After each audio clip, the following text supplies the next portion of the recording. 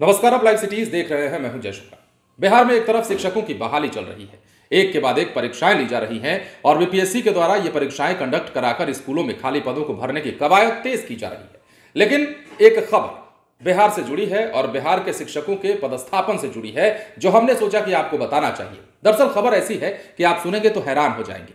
बिहार में, जहाँ एक तरफ़ शिक्षकों की ज्वाइनिंग चल रही है, स्कूलों में उनको पदस्थापित किया जा रहा है तो दूसरी तरफ़, बिहार का एक स्कूल ऐसा है, जहाँ पर शिक्षक जाने से डरते हैं, या फिर शिक्षक जाने से डर रहे हैं। अब, इस स्कूल में ऐसी क्या खास बात है? ऐसी कौन सी डराने वाली चीज़ है इस स्कूल में, जिसकी वजह से ये शिक्षक नहीं जाना चाहते? वहाँ ज्वाइनिंग के नाम पर शिक्षक पहले ही थर थर कांपने लगते हैं।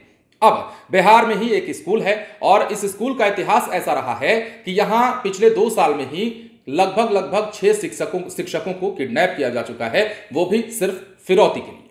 अब देखिए, फिरौती के लिए जहाँ शिक्षकों को किडनैप किया जा रहा है, अपहरण होता है वहाँ शिक्षकों का, वहाँ पर शिक्षक अगर पढ़ाने जाते हैं तो उनके साथ भी कोई अनहोनी ना हो जाए, इस वजह से तमाम शिक्षक वहाँ ज्वाइनिंग लेने से डर रहे हैं। अब ये स्कूल कौन सा है और किस ज़िले में ये स्कूल पढ़ता है, वो हम आपको बताते हैं तो ये जान लीजिए।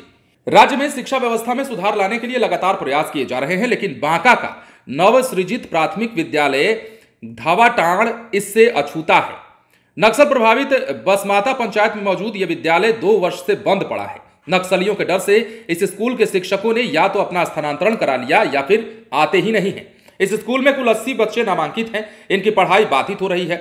दूर क्षेत्र होने के कारण इन बच्चों के पास किसी अन्य स्कूल का विकल्प भी नहीं है। ग्रामीण कई बार शिक्षा विभाग के अधिकारियों से स्कूल सुचारू करने का अनुरोध कर चुके हैं, लेकिन अब तक कोई फलाफल नहीं। अब देखिए, दो वर्ष पहले की बात करें तो इस स्कूल के प्रधान प्रभारी प्रधानाध्यापक पंकज कुमार सिंह का अपहरण हुआ था। बदमाशों ने नक्सलियों के नाम पर शिक्षक से 20 लाख रुपए की फिरौती मांगी थी। चर्चा के अनुसार, पाँच लाख रुपए देकर शिक्षक ने अपनी जान बचाई, हालाँकि शिक्षक ने फिरौती की रकम देने से इनकार किया है। इस घटना के बाद पंकज ने दूसरे स्कूल में अपना तबादला करा लिया। इस भय से विद्यालय की सहायक शिक्षिका आभा कुमारी ने भी अपना स्थानांतरण दूसरे स्कूल में करा लिया। फ़िलहाल स्कूल बंद पड़ा हुआ है। बाद में स्कूल संचालन के लिए विभाग ने तिलकपुर स्कूल के शिक्षक कैलाश कुमार मधु को वहाँ नियोजित किया था, पर दो दो स्कूल का प्रभार होने के कारण कैलाश ने धवाटाण विद्यालय जाना छोड़ दिया है।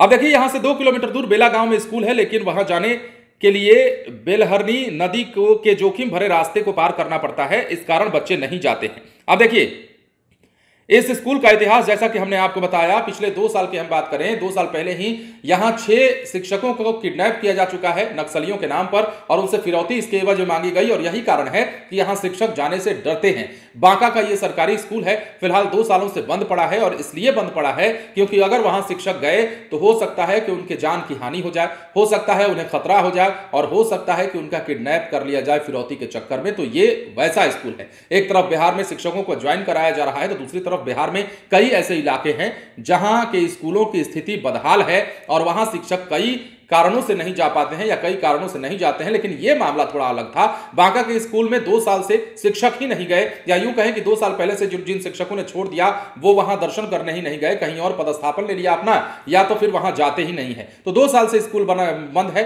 अस्सी बच्चे यहाँ पर नामांकित हैं और इन अस्सी बच्चों का अस्सी क्या कई बच्चों का नामांकन यहाँ पर आगे भी हो सकता था अगर स्कूल चालू रहती तो, तो कई नुकसान यहाँ देखने को मिल रहा है और फ़िलहाल बिहार में जहाँ एक तरफ़ शिक्षक और शिक्षा व्यवस्था को सुधारने की कवायद तेज है तो बांका के स्कूल पर किसी की निगाहें नहीं जा रही हैं। गाँव वाले परेशान हैं, बच्चों का भविष्य संकट में है। मास्टर साहब जाएँ तो कैसे जाएँ, कहीं किडनैप ना हो जाए।